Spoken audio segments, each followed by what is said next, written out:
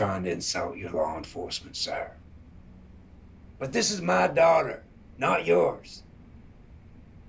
You telling me if it was your child missing, you could sit there and be calm and relax and hope that someone else might take care of it? It's obvious these guys are trouble. Trust us.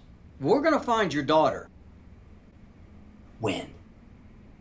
Once she's dead? Welcome to Rebecca Sounds Reveille. I am delighted to have you here to share an exciting time with me and my guest, who's an actor, producer, director, even a stuntman. And he's got well over 60 credits to his name with the films that he's either been involved with or been in. It's pretty exciting. You may already know him from uh, roles in American Assassin, Lethal Weapon, Criminal Minds. Um, he's had a very colorful palette of roles, everything from comic books to horrors. And there's something we're going to talk about today uh, regarding a new film that he has. I'll let him introduce it, even though um, if you've been watching on either my or his Facebook page, you may already know what it is. But um, he's even guest starred on Station 19 and more. He was a stuntman. We can let you hear a little bit more about that from him. And um, I've got to tell you though, his career has been thriving. If you if you go to IMDb and you're checking him out, you're going to find a lot of really uh, surprises that maybe you didn't even know he was involved with, and and they're really things that you will want to learn more about and and look for him in. He's described how putting your mind to something will really give you perseverance and you can achieve great things. He is one who has definitely shown that and I want you to be a part of all of the things he's doing. He's very inspirational. When we finish, you're going to get links to his his pages and you want to follow him because it's very exciting to see the things that he's doing. You can definitely reach your dreams and he's going to share with us now what he's doing and it's going to help lead you to yours. Welcome to the show, Jeff Davis. Hey, Rebecca. Thanks for having me. I am absolutely excited. It's been a little while since we've had an opportunity to chat, and you've been doing some really great things. And so you have something coming out. I don't want to wait too long to share with the audience what it is, but um, if you go ahead and tell us about your your new your yeah. new role and what's coming. Um, it's a it's a little film called Outrage, and it's a martial arts action film um, directed by a, a young uh, Indian uh, actor director who actually lives in Houston, uh, Sandeep JL is his name. And. Sandeep, this is his first feature film, and he wrote, directed, and stars in it. And I star alongside him with a lot of uh, uh, local uh, Houston and that area Texas actors. So um, it was it was a it was a good little project. We had fun. There's some I mean, the martial arts scenes, the, the DP got right in there with the camera, and it was like Hong Kong style martial arts. So he was, he was. The fight scenes are amazing. There's some nice car chase scenes. It's got bikers. It's you know, it's got it's got a little bit of everything. And, and I play character by the name of Mike, and I'm a good old good old Texas boy. And uh, yeah, and uh, my daughter gets kidnapped and I call in on the help of my friend uh, Felix Chavez and Sandeep's character, which is Victor, to help me get my daughter back. So, this and we is... get her back. what did you say? I said, and we get her back. Oh, you spilled. Okay, this is good though, but there's more in there. So, do you do any stunts in there? Not in this movie, no. I, okay. I didn't. But I've done it. I, I, started early in my career. I did some stunt work, not a lot, but I mean, I, I, grew up. I was a boxer when I was 15 years old, and I raced stock cars for when I was 18 to tw- early, early 20s. Um, so I, you know, when I first got to Hollywood, I did a little bit of stunt work. I did some doubling. I did some on Waterworld for Kevin Costner. Uh, for Peter Greene in a movie called uh, Rich Man's Wife with yes, Halle Berry. I was say that. Mm-hmm. Yeah, yeah. But mostly, you know, I, I, actually when I was working on Waterworld, I was talking to Kevin's his stunt double, and he his name is um, shoot, I'm drawing a blank. But anyway, he he told me he said Jeff, he said you got to make a choice. You want to be an actor, you want to be a stunt man. He said early on in his career, he was actually in the Cowboys uh, with John Wayne. He was a 13, 15 year old kid, whatever he was. And then he started doing stunt work, and he said I had to make a decision. He chose stunts, and I chose acting. So. well, that's interesting because oftentimes people that are coming into you know this field and this profession, they don't realize that you really need to get your niche out there and become really strong at something and that's what's going to take you where you need to go in, in any business it helps to have a niche i think. And um, you know stuntmen you know they work as stuntmen you know and, and actors work as some do both. There's a lot of them that but in order to be taken seriously as an actor it's it's better to focus on it. And uh, that's what i chose so. That makes a lot of sense. So now in your upcoming movie outrage when is it scheduled for release? We're working on that right now. Um, i'm trying to work with the director with sandeep to get it into some distributors' hands. Um, it, it, we might just it might be released on Amazon within the next month or so. Um, we're working on it, so I will definitely let you know and let everyone know as soon as we we get a release. I am excited about um, what you have coming out because this is going to be a biggie for a lot of um, of those that were involved in the the filming, and so for it to go out on Amazon Prime, I'll definitely be there and sharing that too. But tell me a little bit about working in Texas because normally you are on the other side of the you're on the west coast doing a lot yeah. of your work. I had never been to Texas. I mean, I did a movie just before that. I did a movie called Showdown on the Brazos with a director actor by the name of Bill Foster up in um, the San, Anton- San Antonio area, and um, I played a, a, preacher, and that was my first trip to Texas. And um, I worked on that movie. I you know I think I was there three or four days and did all my scenes. What they did is they, because I was flying in from LA, they put all my scenes into a three day period, four day period, and we shot all my stuff. And then they've been months shooting all the rest of the movie. And that one hopefully is coming out uh, early next year as well. It's called Showdown on the Brazos. But while I was there, some of the actors that were there, um, Sandeep, the director of Outrage, came to meet me, and um, we made a deal at that point to come back and about a month later, and I worked on his movie. So it was uh, it, it was great. I loved Houston. I mean, the, the people there were great. Uh, dedicated talent pool there, and uh, you know, people just want to be involved, and it was uh, it was refreshing. A little different than LA.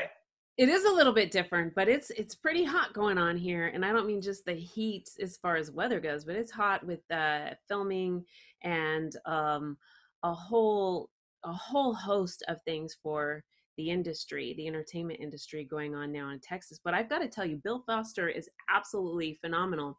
And what's really exciting about uh, your role as preacher in Showdown of the Brazos is that on the film circuits, it just won tons of awards. Um, yes. Well, I, I think as a script. I don't know if the if the film itself has yet, but I know the script has one. I'm not sure okay. about yeah, sure I have been. I've just been seeing that come up over and over again, and I thought, wow, this is incredible. Yeah, it's it's it. You know, I, I really enjoyed it. It was a fun character for me, uh, something completely different. And my first western. I love westerns, so it was the first chance I had to actually work on a on a western. So, but I've got more in the works than that too. I've got a couple of my own in the works. So, and I've already oh, been. Well, we definitely want to hear more about that when you are ready to share. I do want to know though if there's going to be a red carpet event for either uh, Showdown or um, Outrage, and if you if there is or a premiere, are you coming? Um, if it's once this whole COVID system out of the system, if they do something, I'll come. Right now, I'm not traveling out of the state, uh, staying close to home. Um, plus, if, if I leave it, then I got to come back. It's hard to get back into work here too because they make you uh, quarantine once you come back. So better to stay local. Uh, now the production has picked up a little bit. The auditions are coming in, so I got to be here. But uh, if either one of them has a premiere, I'll do my best to get there. I'd love to. Uh, I'd love to go see it with the with all the crew and cast and and the people that come to watch it. So definitely. Yes, yes. So I'm really excited. Tell us some of the things that you found um, that launched you into just having such a successful career so that we can share with the audience some motivation and some inspiration for them to achieve what they're shooting uh, out to do as well. The, the, I just, you know, I woke up one day and said, I'm going to be an actor, and I sold everything and flew to LA. Um, I just had decided, I, I, I worked on a, um, I did one play, uh, I did a little class. I had never really done any acting. I was in my mid 20s. And this girl that was in the play and in the class with me, I, I ended up seeing her on TV. She had gone to New York and, and got on a soap opera. And, you know, I was at a point in my life where I owned my own business. I had a fitness store. I sold all the stuff and um, everything was good, but something was missing. And when I saw her on TV, I said, that's what I want to do. And so I flew to LA, not really knowing, I mean, I had done nothing basically. I had no background, no, no training. Um, I just dove into it and just started doing it. I think for anyone starting out, um, the main thing is to know that it's a long journey. You can't just, you know, you got to be in it for the long haul. I mean, don't say, oh, I'm going to go to LA for five years. And if I don't make it, I'm done. Because if you, not many people make it in five years. And there are the, there's the lucky people that hit something big early on. But usually when they do, then they don't know how to get work. So once that show's gone, they're gone. So um, it's, it's, it's, it's patience. Uh, it, it, you just gotta, and, and work. It's hard, hard, hard work. You just gotta, every day be working on your craft. I love it. I love it. Do you think looking back on your career that you'd end up where you are now? Um, I thought I'd be a lot further ahead by now. ah, um, you know what? That's good. It's good that you say that though. And let me tell you why, because we always want to continue to reach for yeah. growing and achieving more. So I kind of like that you said that. Well, I just, I, about three years after getting to LA, um, I got married to my lovely wife, and we've been married for 25 years last week. Oh, and, oh, congratulations! Uh, and we had a son, and then two years later, had my other son. So I think being a dad came first, and a husband. So it slowed things down a little bit. I had to have money coming in, so it changed my trajectory a bit. And I always, the funny thing is, is I, back in I think it was 2014, my my youngest got his driver's license. Uh-oh. And I started. Once that happened, it freed me up from dropping him off at sports and school. And my career just. And if you look at my look at IMDb, you'll see from 2013, 2014 on, um, every year's been better than it was the previous, you know, 20 years.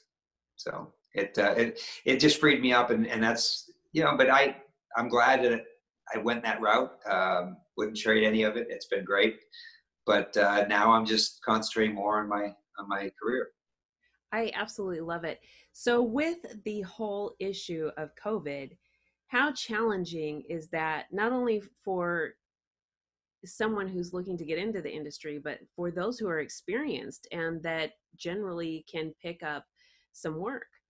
Yeah, well, right now there's, I mean, shows are starting to shoot again, um, but everything is auditioning at home, kind of like we're doing right here. I mean, we have to shoot our own auditions, put in the computer, edit it, and download it to a site somewhere or and um, so it's tough. I mean, you don't get any like a lot of times when you're going to read for a big, you know, recurring guest star on a TV show, you're in a room full of you know, there's the director and the writer and a couple producers, so you get some feedback. Uh, now everything is you're talking to a camera and you put it on tape and you send it in, so you just you know you hope for the best. But um, for someone just starting out now, it's a tough. I mean, I mean, I suppose it, there's just not as much going on right now. And when you do, there the COVID protocols, which which are great, you know, they make sense, but people are testing every day, and you get to get tested. I think a week before you can even shoot, and I mean, it's it's it's it's tough, and it's I think because of that lower budget stuff can't afford to do all that right now, so it's it's definitely slowed down a lot of the smaller productions. Oh, you know, that makes sense. And especially when you think about the smaller productions and the amount that's already involved and to add that it really can um, wipe it out in for a while i mean at least until yeah, they, budget movies you know 100 200000 dollar movies 300000 that you could probably add easily 25 to 30000 on top of that you know and they've already budgeted they've already gone out and got their financing so now you've got to go back and find another 25 30000 to do all the testing and the protocol and that so it's it it either puts people on a shelf and they're going to wait, like, you know, put the projects on the side for now, or they've got to go back out and find some more money, which is not easy.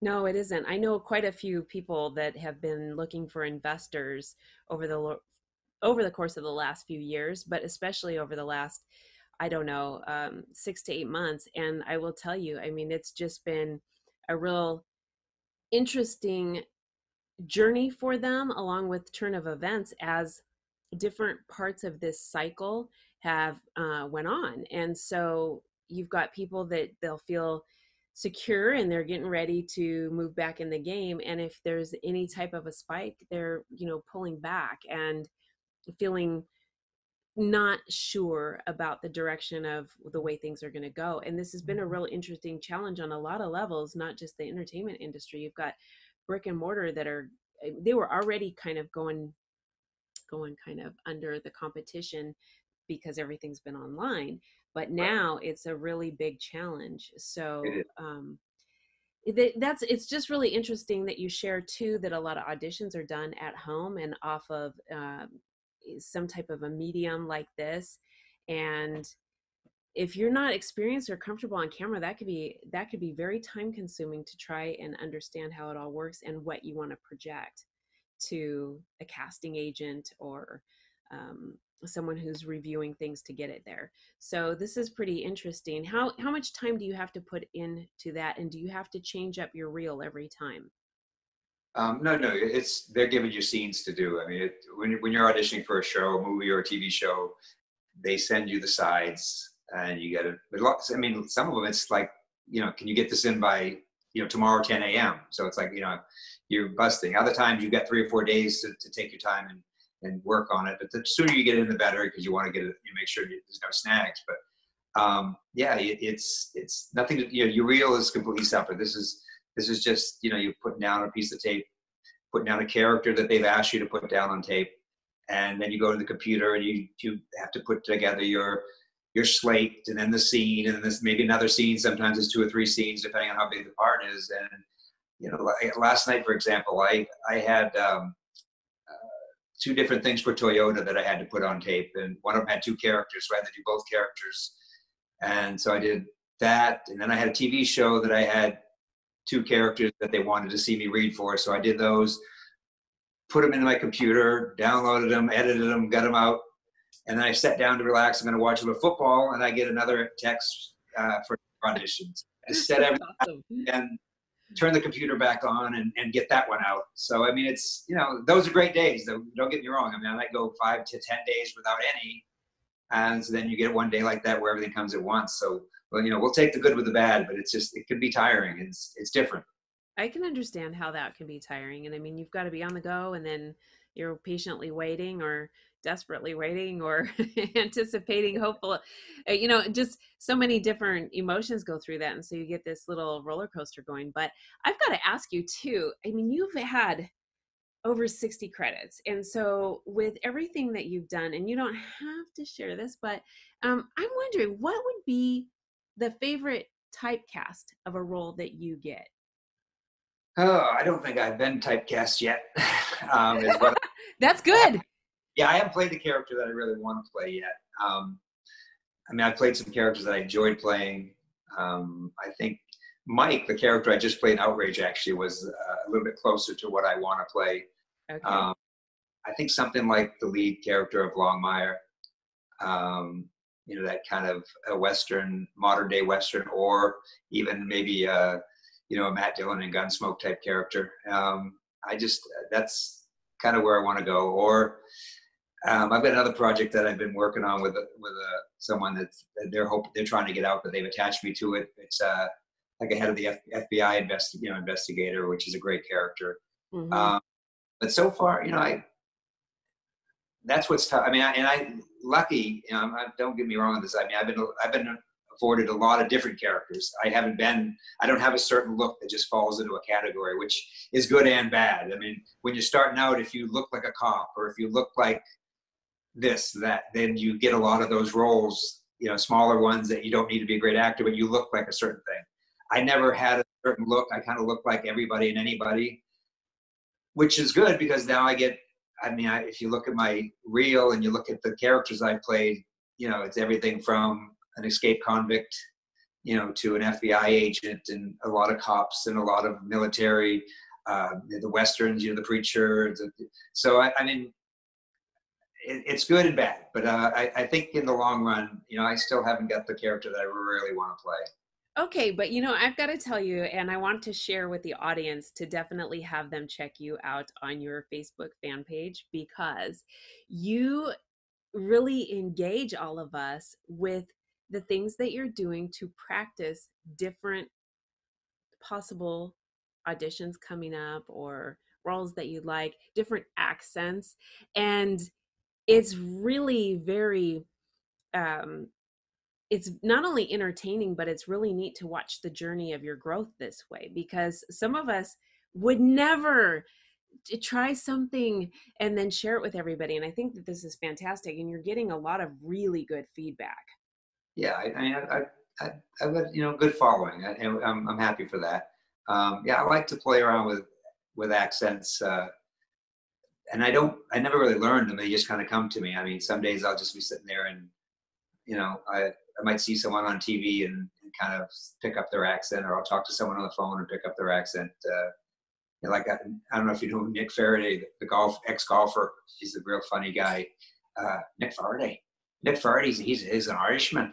I love to you know listen to him talk, and I love to talk like him if I can. You know, and uh, like that. You know, if I talk to someone who's from the South, you know, I start talking to the Southern accent. And I'm from New England. I'm from Maine, so yes, uh, that one comes off for natural to me. So you know, you just gotta drop the eyes, and you know, you go right into that one. So but that's that's yeah, that's what keeps me going. I mean, I haven't had a chance to do a lot of that other than the Southern. I get to do, and, and you know, if you watch my Lethal Weapon episode, I was a, a guy from Texas. Uh, Outrage is a Texas kind of drawl. So, um, you know, it, it's yeah, it's exciting, and it's I, I, do a lot of it. I put on Instagram to try to to engage people and and uh, you know let them see what what goes on. I love it. I love it. I just want to share with the audience any type of social media you'd like them to connect with you. So if you'll give that out to them I mean, now, that would be great. Any social media out there, I'm JF Davis Actor. Whether I use the same handle across the board, that way it makes it easier. And my even my website is jfdavisactor.com. So um, yeah, you can find me, you know, uh, across the board. I love it. I want to thank you so much for being here today. I'm excited about the upcoming Outrage film that you have, along with some other things that you might be releasing to us, hopefully shortly. I'd like to hear more about it. Hopefully, once COVID's over, I can start shooting some of my own stuff. I got a few things in the works. So we'll see. We'll see. Well, I, I'm really, I'm jazzed. I'm jazzed with what you've got going, and I can't wait to see a whole lot more, especially once this this kind of tapers off and gets out of there gets out of here for for us to be able to get back to some some normalcy but um you're normal. Thank you so much jeff. I'm, I'm really delighted and i want to thank all of you for tuning in to another episode of rebecca sounds reveille. Make sure that you catch up with uh, jeff on all of his social media because you're going to learn a lot you're going to be engaged he's so positive and is going to give you a lot of in- inspiration for the things that you do as well. Make sure you click on the description box on all of the different outlets for this. You can find out more about stuff that was going on here in this episode that might be really applicable to you, along with all the links to catch Jeff if you didn't catch it just a second ago. Thanks for tuning in. Thank you.